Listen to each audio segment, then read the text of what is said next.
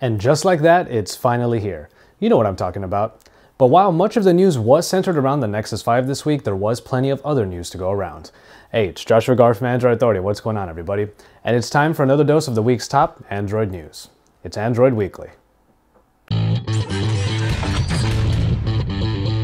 Before we get into all of the Nexus 5 and Android 4.4 KitKat, however, let's take care of a couple of announcements that also happened this week.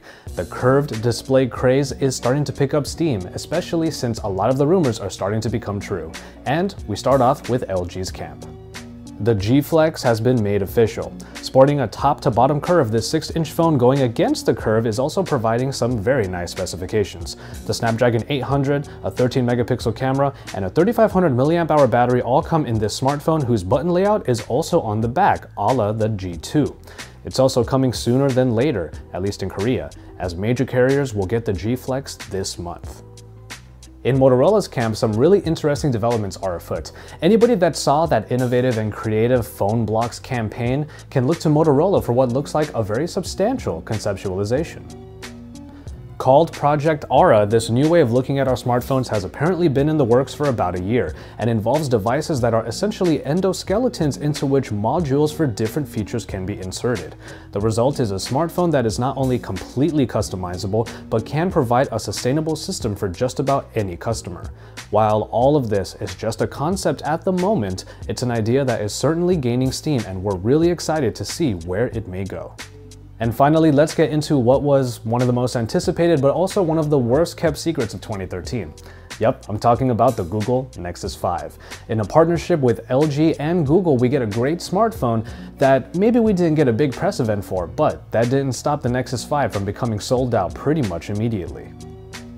The excellent Snapdragon 800 processor makes it onto your Nexus experience and should help what was a somewhat controversially small 2300 mAh battery unit. Perhaps the part of the Nexus 5 everyone is wondering about is the camera, which might be an 8 megapixel shooter but does feature optical image stabilization. My review of the Nexus 5 is on its way, but you can check out Jace's video giving you everything you need to know about the launch, and then you can see our articles at androidauthority.com pitting the Nexus 5 against a lot of the competition, even the Nexus 4. Also, at the time of filming this edition of Weekly, either color of the 16GB model will take 3 to 4 weeks to leave the warehouse, while the 32GB models will take 2 to 3.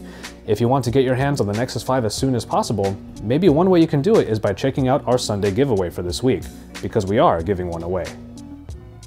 The Nexus 5 hardware is not the only star of the show, however, as a lot of Google's software acumen has been updated to go along with it as well. We start with an update to Google Hangouts. Now you are able to share your location and play animated GIFs to people you are chatting with.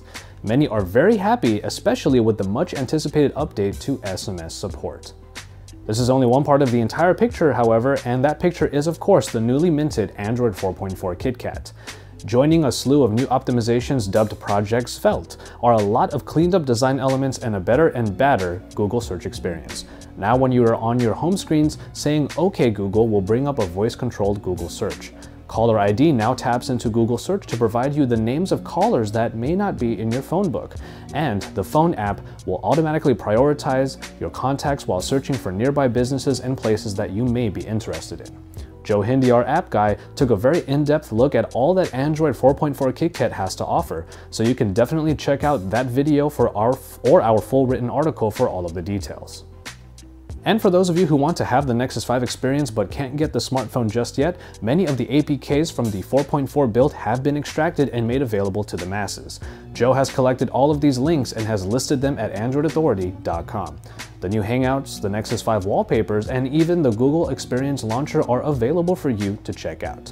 Speaking of the Google Experience Launcher, we take a closer look at Android 4.4 KitKat and find how the new launcher is actually basically just Google search.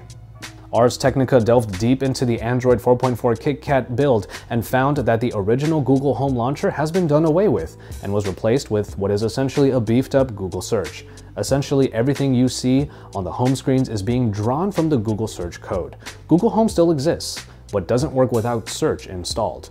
It's unclear what this might mean for OEMs who create their own versions of the Android operating system, but at least in the case of the Nexus 5, it's absolutely clear now that this move allowed for a streamlined search experience that included features like the always-on voice control.